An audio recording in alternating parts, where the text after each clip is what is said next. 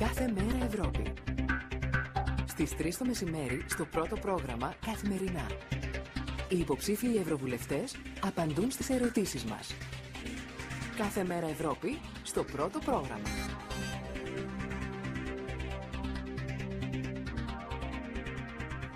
Κυρίες και κύριοι, καλό μεσημέρι. Εύχομαι κάθε καλός όλους. Ένα ακόμα debate, μια ακόμα ραδιοφωνική αντίκρουση, αντιπαράθεση είναι σε εξέλιξη με εκλεκτούς καλεσμένους εδώ στην ΕΡΤ και στο πρώτο πρόγραμμα.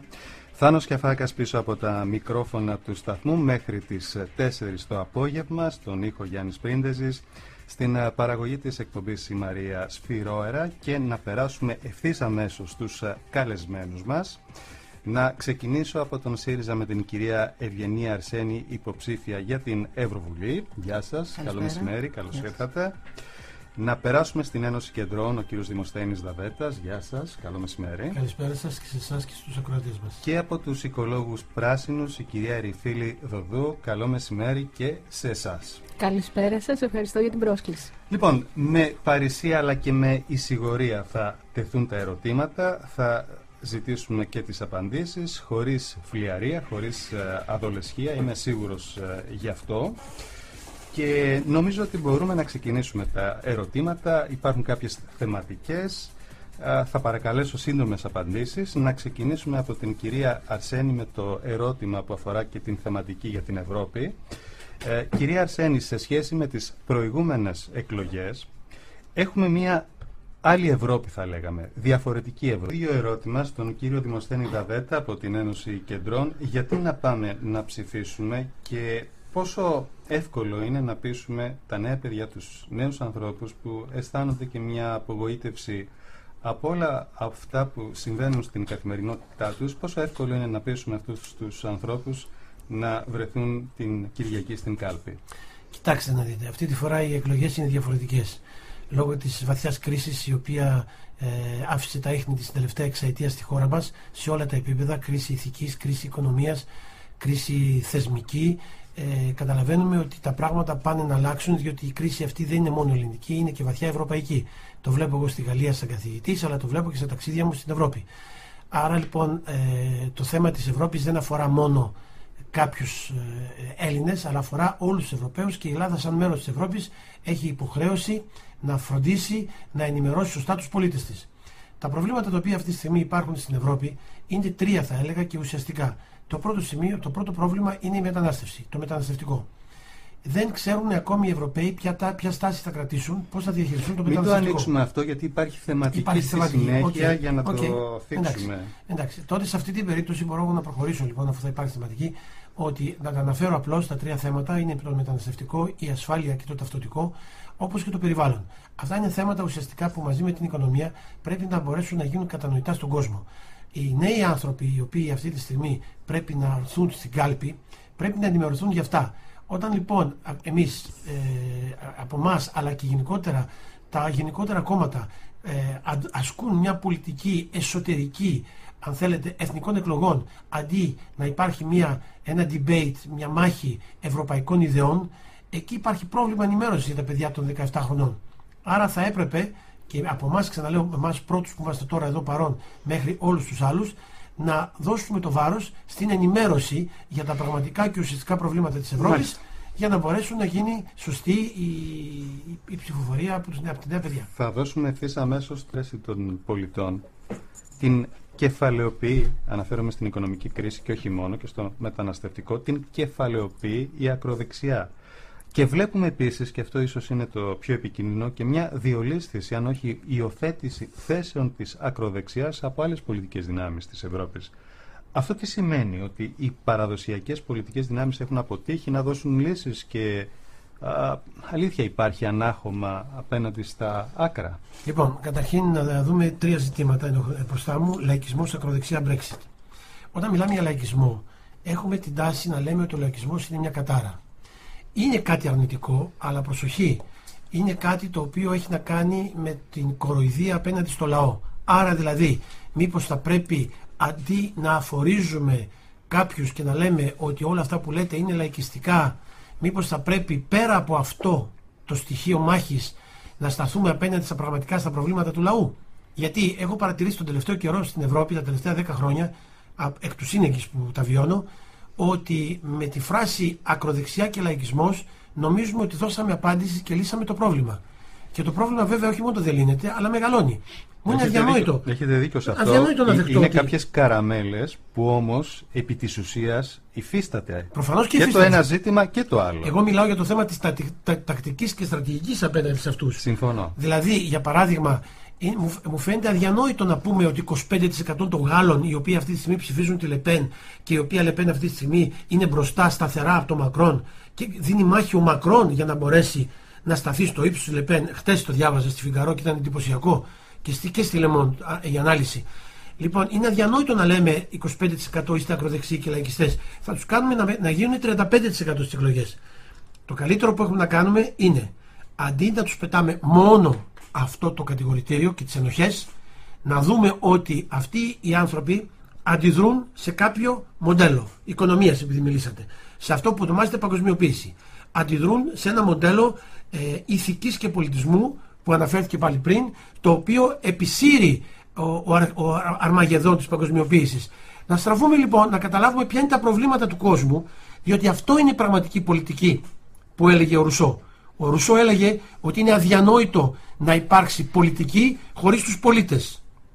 Άρα λοιπόν εκεί είναι το, το, αν θέλετε, το, η αιχμή του δόρατος που πρέπει να στραφούμε για να ανατρέψουμε αυτά τα κλίματα λαϊκισμού ή ακροδεξιάς και όλων αυτών των κινδύνων που σωστά αναφέρθηκαν. Κυρία Δοδού, πιστεύετε το κύκλο, αν και έχω την εντύπωση και το λέω αυτό γιατί και εγώ αισθάνομαι ότι δεν έχω δώσει ούτε τα ερωτήματα που θα έπρεπε σε σχέση με ένα ζήτημα που αφορά το γιατί ψηφίζουμε αλλά και πώς ε, στείλουμε ένα ανάχωμα στην ακροδεξιά.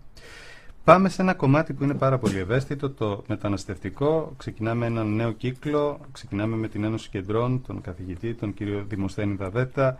Ένα ζήτημα το οποίο το βρίσκουμε συνεχώς μπροστά μας, κύριε Δαβέτα. Ελλάδα, Ιταλία, Μάλτα έχουμε σηκώσει στις πλάτες μας μια υπόθεση που σίγουρα ξεπερνάει τις δυνατότητές μας. Πώς μπορούμε να αντιμετωπίσουμε ένα τόσο σοβαρό ζήτημα με το δεδομένο ότι αρκετές χώρες της Ευρώπης έχουν εκδηλώσει την αντίθεσή τους στην φιλοξενία προσφύγων; Λοιπόν, καταρχήν το μεταναστευτικό πάνω απ' όλα είναι ένα πρόβλημα, πρόβλημα ανθρωπιάς. Έχει να κάνει με ανθρώπους οι οποίοι με τον ΑΒ λόγο έφυγαν από τη χώρα τους και πηγαίνουν σε μια άλλη χώρα ή σε μια άλλη, αν θέλετε, ήπειρο για να βρουν κάποια καλύτερη λύση. Δίπλα σε αυτή την ανθρωπιά όμως υπάρχουν και επιτίδιοι. Οι επιτίδιοι είναι όλοι αυτοί οι έμποροι, οι οποίοι ξέρουμε πολύ καλά, οι έμποροι ψυχών, οι οποίοι εκμεταλλεύονται τα γεγονότα αυτά, τους παίρνουν τι περιουσίες και τους στέλνουν οπουδήποτε στα τυφλά.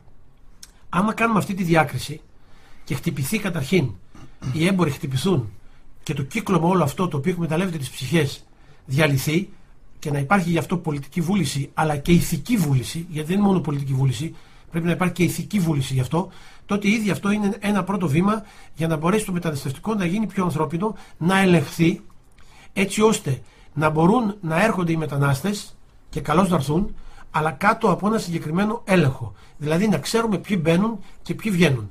Εγώ όταν πήγα στη Γαλλία είχα περάσει από κάποιες συζητήσεις, ε, με έκριναν ότι ήμουνα ικανός να μπορέσω να μπω στην όλη διαδικασία και μπήκα και δεν έχασα τίποτα μέσα από το να είμαι μετανάστης στη Γαλλία και μάλιστα εξελίχθηκα με τον ΑΒ τρόπο. Αυτό είναι ο, ένα, ο ένας τρόπος. Ο δεύτερος τρόπος είναι να χτυπηθεί η ρητορική όλων αυτών οι οποίοι εκμεταλλεύονται το μεταναστευτικό για να δημιουργήσουν ακριβώς και το συνδέω με το πρώτο ερώτημά σας ε, να δημιουργήσουν θύλακες ακροδεξιάς. Τι σημαίνει θύλακας ακροδεξιάς; Σημαίνει πάνω απ' όλα κάποιοι οι οποίοι είναι δημαγωγοί, κάποιοι οι οποίοι θέλουν και μόνο την εξουσία χρησιμοποιώντας στη, ε, λέξεις και φρασιολογία η οποία βασίζεται στον κίνδυνο, τον εθνικό κίνδυνο ή στον κίνδυνο ταυτότητας κάποιων πολιτών. Δηλαδή με λίγα λόγια τους λέει προσοχή αν έρθουν οι ξένοι θα χάσετε αυτό, θα χάσετε αυτό, θα χάσετε αυτό. Για να μπορέσει να μην στηριχθεί, να μην βρει βάσεις αυτή η ρητορική θα πρέπει το κράτος και η Ευρώπη γενικά να έχει καλύτερο έλεγχο στη μετανάστευση, να υπάρξει αναλογική ε, διάθεση των μεταναστών. Δεν μπορεί παράδειγμα ε, μια χώρα όπως η Ελλάδα να δέχεται όλες τις ανθρώπινες ψυχές και να γίνεται αποθήκη ψυχών και μια άλλη χώρα όπως η Ουγγαρία να μην δέχεται τίποτα. Εδώ θα πρέπει να είναι αυστηρή η Ευρωπαϊκή Ένωση να δώσει όχι μόνο Δεν είναι λύσεις, όμως. ναι, αλλά εδώ θα πρέπει να απειλήσει με έξοδο. ας πούμε, μέχρι σε αυτό το σημείο να φτάσει. Κυρία Και να πει ότι θα χάσετε Δοδού. την, τη συμμετοχή σας. Είμαστε. Εμείς, Λοιπόν, αυτό θα ήθελα να περάσουμε στην οικονομία. Ε, η Ελλάδα στις 21 Αυγούστου βγήκε, του 18 βγήκε από τα μνημόνια, ωστόσο για α, πολλές οικογένειες, για πολύ κόσμο, ε, εδώ στη χώρα μας η κρίση είναι ακόμα εδώ. Και βλέπουμε και έναν ελεήτο κυνηγητό να βρίσκεται σε εξέλιξη με τράπεζες, εφορίες, εκατοδόσεις, κατασχέσεις, πληστηριασμούς, να μην τα αναφέρω όλα. Δεν αφήνουν περιθώρια παρά τα μέτρα ελάφρυνσης για μια πιο κανονική και ήρεμη ζωή. Πώς αυτό το πράγμα μπορεί να αλλάξει, πώς μπορεί η ζωή να αποκτήσει ξανά ενδιαφέρον, ξανά χαρά, να χαιρόμαστε γιατί δουλεύουμε, να χαιρόμαστε γιατί μπορούμε να έχουμε λίγο ελεύθερο χρόνο με τους ανθρώπους που αγαπάμε. Λοιπόν, καταρχήν, εγώ με μου αρέσει με λίγο συστηματικό, τα βάζω στο χαρτί 1, 2, 3. Πρώτο, το ερώτημα που τέθηκε για τη Λισαβόνα.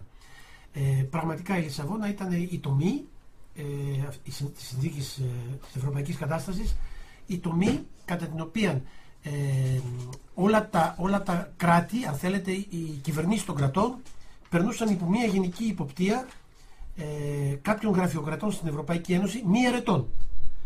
Εδώ πέρα έχουμε έλεγχο λόγω της Λισαβόνας γενικότερα των ευρωπαϊκών κυβερνήσεων. Μην ξεχνάμε ότι οι Γάλλοι το αρνήθηκαν. Τότε επί εποχής Σιράκ ψήφισαν εναντίον της συνθήκη τη Λισαβόνας. Εμείς ούτε καν δημοψήφισμα ούτε τίποτα. Κάτι το οποίο το θεωρώ αρνητικό. Άρα λοιπόν πραγματικά η Λισαβόνα είναι μια νέα κατάσταση η οποία θέλει να ελέγξει τους μηχανισμούς οικονομίας, κρατών κτλ. Αυτό είναι το ένα σημείο. Το άλλο σημείο είναι ότι όταν μιλάμε για οικονομία πρέπει να κάνουμε διάκριση οικονομίας και αγορών. Η οικονομία έχει να κάνει με την οικοκυροσύνη όπως λέει ο Αριστοτέλης. Ο οικονόμος είναι νοικοκύρης. Σημαίνει να μπορεί να βρει την ισορροπία ανάμεσα σε αυτά που ξοδεύει, σε αυτά τα οποία κερδίζει και ούτω καθεξής. Οι αγορές, έτσι όπως εξελίσσονται με την παγκοσμιοποίηση, είναι τυραννικές. Δίνουν το προβάδισμα σε μια ολιγαρχία, επιτρέπουν στους λίγους να έχουν περισσότερα κέρδη, να πω κάτι το οποίο το ξέρουν όλοι και το λένε, αλλά το πω με, απλά, με άλλα λόγια ίσως, και στους φτωχούς να μην έχουν πρόσβαση στα κέρδη. Αυτό το πράγμα οφείλεται στις αγορές, οι οποίες ελέγχονται απόλυτα από το χρηματοπιστωτικό μηχανισμό. Τι σημαίνει αυτό για να καταλάβει ο κόσμος, από τα κέρδη των τραπεζών. Άρα λοιπόν, έχουμε τώρα αυτή τη στιγμή τις τράπεζες να αλλάζουν όχι μόνο τα οικονομικά δεδομένα, αλλά και τα πολιτικά δεδομένα. Να επιβάλλουν πολιτικούς, όπως παράδειγμα ο Μακρόν στη Γαλλία και άλλους, και να μην υπακούει η τράπεζα στην πολιτική, αλλά η πολιτική στις τράπεζες. Ναι, αλλά επειδή η δημοκρατία της αγοράς επί της ουσίας δεν υφίσταται, Έτσι έτσι, ακριβώς, έτσι ακριβώς. το θέμα είναι τι κάνουμε. Ε, εάν έχουμε πλαίσια όπως είχαμε πριν, οι αγορές υπήρχαν και πριν. Απλά δεν ήταν τόσο ισχυρές. Με, τη, με, το, με την παγκοσμιοποίηση και με την κατάργηση των συνόρων έγιναν ε, ανελαίτες. Εάν λοιπόν εμείς Φταίει, φταίει η παγκοσμιοποίηση όμως ή οι πολιτικές που άφησαν το χώρο και τα περιθώρια Είναι στις δύσκολο, αγορές να εισβάλλουν στην πολιτική και να κυριαρχήσουν; Είναι δύσκολο στην αρχή όπως συνέβη, γιατί ήταν τόσο ορμητική η παγκοσμιοποίηση και μπόρεσε να, επι- να, να επιβληθεί πάνω στους πολιτικούς. Κάποιοι πολιτικοί υπήρξαν και δούριος ύπος, όπως είναι η περίπτωση Μακρόν, ξαναλέω, ένας δούριος ύπος για τη Γαλλία και τόσοι άλλοι πολιτικοί. Οπότε Μάλιστα. μέχρι να καταλάβουμε το πρόβλημα, τώρα το συνειδητοποιούμε. Γι' αυτό και τώρα πρέπει να παλέψουμε να φύγουν πια αυτού του είδους οι πολιτικοί και να έρθουν νέοι πολιτικοί οι οποίοι να πιστεύουν στα στοιχεία της ευδαιμονίας, δηλαδή της καλής ζωής, της οικονομίας σαν νοικοκυροσύνη, καταλάβατε, και ταυτόχρονα της ε, πολιτικής αν θέλετε υπευθυνότητας. Κυρία Δοδού, δεν είναι για κάποια από αυτά μουσιακά αντικείμενα και υπάρχει όντως ένα χάσμα γενεών που αυτή τη φορά είναι πολύ δύσκολο να γεφυρωθεί.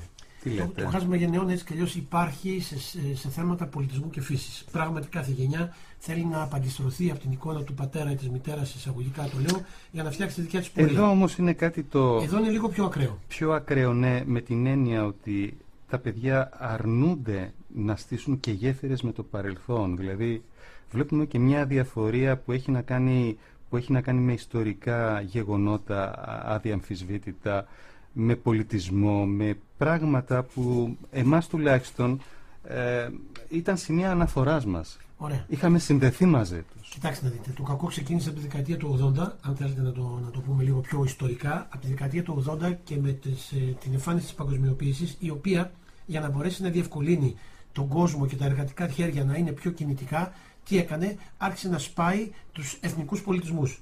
Δηλαδή, τι εννοώ εθνικό πολιτισμό, τις εθνικές ιστορίες, ε, τα στοιχεία τα, της πολιτιστικής ταυτότητας που είχαμε και με τα οποία μεγαλώσαμε. Μην ξεχνάτε ότι η σύγκρουση πολιτισμών του Σάμουελ Χάντιγκτον ήταν η δεκαετία του 80 που βγήκε και απέκτησε. Δικαιώθηκε ο Χάντιγκτον. Σε ένα μεγάλο βαθμό δικαιώθηκε. δικαιώθηκε Διότι ναι, αυ- με- λόγω του- αυτού που ζούμε με τους Ισλαμιστές, όχι το Ισλάμ, με τους Ισλαμιστές, ε, δίνει νερό, στο- βάζει νερό στο κρασί Ο του. Φουκουγιάμα δικαιώθηκε. Ε, δικαιώθηκε εν μέρει και ο Φουκουγιάμα για το τέλος της ιστορίας. Γι αυτό Δυστυχώς εννοείται. δικαιώθηκε εν Ναι. μέρει ο Φουκουγιάμα. Ναι, ναι. Δυστυχώς Δικαιώθηκε και αυτός, δικαιώθηκε. διότι πράγματι μιλάμε για το τέλος της ιστορίας, αλλά αυτά όλα είναι οι συνέπειες, μάλλον είναι οι- α- αυτά που, που υπόθηκαν πριν φτάσουμε στις συνέπειες τις οποίες εσείς αναφέρατε. Δηλαδή, με λίγα λόγια, εάν εμείς οι ίδιοι βάλαμε τα δάκτυλα στα μάτια μας και βγάλαμε τα μάτια μας, τα εκπαιδευτικά, τα πολιτιστικά, στο όνομα μιας φιλελευθεροποίησης ηθών αγοράς ή οτιδήποτε, και εδώ το ηθών δεν το βάζω ηθικολογικά, το βάζω γενικότερα, αυτό δεν μας φαίνεται τα παιδιά. Αν τα παιδιά τα δικά μου τα μεγάλωσα εγώ με αυτόν τον τρόπο, α, τα παιδιά αυτή τη στιγμή ζουν σε ένα άλλο περιβάλλον. Άρα θα πρέπει να ξαναγυρίσουμε πίσω Πώς, όχι να γυρίσουμε πίσω στο παρελθόν, να ξαναβάλουμε με το μάτι του σήμερα τις ανθρωπιστικές σπουδές στα σχολεία. Αυτή είναι η πρότασή μου. Κυρία Τις χρειαζόμαστε. Δοδού, έχουμε ένα τέταρτο. Επενθυμίσω ότι έχουμε μπει στο τελευταίο 7 λεπτό, 8 λεπτό και Είναι η η τελευταία μας, συζήτηση. ε, ή έχουμε θα κάποια δούμε, άλλη θα μέρα; δούμε. Νομίζω πως όχι και μπορούμε να συζητήσουμε ευρύτερα τα ζητήματα της Ευρώπης. Ε, θέλω να κλείσω με το κομμάτι που αφορά στην Τουρκία. Η Τουρκία προκαλεί στην Κυπριακή ΑΟΣ, το έχουμε δει όλες αυτές τις μέρες και όχι μόνο στην Κυπριακή ΑΟΣ. Ο κύριος Αναστασιάδης μίλησε ανοιχτά για εισβολή και μίλησε για θαλάσσιο ατύλα αυτή τη φορά. Θέλω να ρωτήσω αν βλέπετε ένα θερμό καλοκαίρι στις ελληνοτουρκικές σχέσεις και πώς πιστεύετε ότι πρέπει α, η Ευρώπη, αλλά και η Ελλάδα, αλλά θα ήταν λάθος να το δούμε ως διμερές θέμα, ε, πώς πιστεύετε ότι πρέπει η Ευρώπη να αντιμετωπίσει αυτή την τουρκική προκλητικότητα; Νομίζω το θέμα δεν είναι διμερές. Δεν είναι, θα ήταν λάθος Το να θέμα το δούμε είναι, έτσι. όχι, όχι μόνο λάθος, δεν είναι από μόνο του. Ε, διότι είμαστε μέρος της Ευρωπαϊκής Ένωσης, η Ευρώπη οφείλει να έχει άποψη και θέση για τα ζητήματα τα οποία αφορούν τα μέλη της. Η Τουρκία βέβαια έχει αυτή την ιδιαιτερότητα με τον Ερτογκάν. Ο Ερτογκάν αυτή τη στιγμή βρίσκεται υπό πίεση με τους Αμερικάνους και με τους Ρώσους. Αυτή η κατάσταση τον κάνει να έχει μια τάση να προσπαθεί να, ρίξει, να ρίξει αλλού τον μπαλάκι, δηλαδή να το πούμε πιο απλά, να μεταφέρει το θέμα της μάχης σε άλλα επίπεδα. Εκεί μπορεί να είναι απειλητικός για την Ελλάδα. Βέβαια η απειλή του δεν νομίζω ότι μπορεί να ξεπεράσει παρά την παλαβομάρα που έχει και τον ηγεμο- ηγεμονισμό του, δεν μπορεί να, ξεπλευρά- να ξεπεράσει ποτέ και να γίνει ένας πραγματικός πόλεμος. Αυτό το πιστεύω ακράδαντα, διότι θα υπάρξει έλεγχος. Όμως φτάνει να δημιουργήσει εντυπώσεις και σιγά σιγά να επιβάλλει μια τακτική ε, κυριαρχίας δικαιωμάτων του και απόψεών του στο Αιγαίο. Εδώ νομίζω ότι η σημερινή κυβέρνηση θα έπρεπε να είναι λίγο πιο αποφασιστική και οποιασδήποτε άλλες κυβερνήσεις έρθουν ή δεν έρθουν να είναι πιο αποφασιστικές, πάντα με διπλωματικά μέσα, αλλά κυριολεκτικά αποφασιστικές για να αποτραπεί η παγιοποίηση των μέσων της Τουρκίας. Αυτό το πράγμα. Ναι, πέστε μου. Όχι, παρακαλώ, παρακαλώ. Αυτό Συνεχίστε. το πράγμα ήθελα να πω είναι, ε, ε, όσο αυτό που είπε ο, ο ακροατής, είναι πράγματι εισβολή. Διότι έρχεται Όχι, ο κύριος Αναστασιάδης το είπε αυτό, ο πρόεδρος. ο κ. Αναστασιάδης, οκ, Κυπριακής έχει Δημοκρατίας. δίκιο. Είναι η εισβολή, είναι η πολιτική του τσαμπουκά. Η πολιτική του τσαμπουκά, αλλά όχι με τον διπλωματικό γνωστό ευρωπαϊκό τρόπο, με τον λεγόμενο ανατολίτικο τρόπο, δηλαδή έρχομαι και σε απειλώ σαν μια υπερδύναμη μαχητική, σαν μια πληθυσμιακά πιο ισχυρή χώρα και εγώ θα στο επιβάλλω, θέλεις δεν θέλεις. Αυτό πρέπει επιτέλους η Ευρωπαϊκή Ένωση και εμείς σαν μέλη της να τους κόψουμε το βήχα. Κυρία Δοδού, μας έλεγε ο πρόδρομος προδρόμου, ο κυβερνητικός εκπρόσωπος της Κυπριακής Δημοκρατίας, ότι η Τουρκία θέλει να βάλει πολλά πράγματα στο τραπέζι, αλλά θέλει να... Για να κλείσουμε θα παρακαλέσω θερμά και τους τρεις σας από 30 δεύτερα για να κάνουμε τον επίλογο. Κύριε Δαβέτα, ο λόγος σε εσάς. Λοιπόν, καταρχήν εγώ ήθελα να πω ότι να μην πέσουν στην παγίδα του διπολισμού οι Έλληνες αυτή τη στιγμή και να μην πούνε ε, ότι ε, προετοιμάζουμε τις ευρωεκλογές για να φτάσουμε στις εκλογές. Να ψηφίσουν πρόσωπα, περισσότερο και από κόμματα, τα οποία να γνωρίζουν την Ευρώπη, πρόσωπα τα οποία να θέλουν να υπηρετήσουν την Ευρώπη και την Ελλάδα μέσω της Ευρώπης. Θεωρώ ότι εγώ είμαι ένα από αυτά τα πρόσωπα και θέλω να με ψηφίσουν. Καλό να τους καλώ να με ψηφίσουν. Γιατί γνωρίζω την Ευρώπη, γιατί πραγματικά Ε, συνεχίζω να εργάζομαι μέσα και έχω όλη τη διάθεση μέσα από τα γραπτά μου και με τη δουλειά μου να υπηρετήσω την Ελλάδα ε, μέσω της Ευρώπης. Κυρία